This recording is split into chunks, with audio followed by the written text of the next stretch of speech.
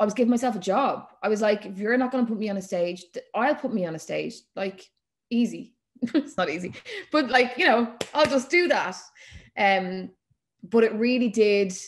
It really opened up a whole new world for me, not just creatively, but but like even in terms of your mental well-being, being a part of the creative industries. If you, I need to have goals, I need to have like I love an L structure, and there's absolutely zero structure in this job unless you're on a set or in a rehearsal room, which you know, which no actor is as much as they would like to be.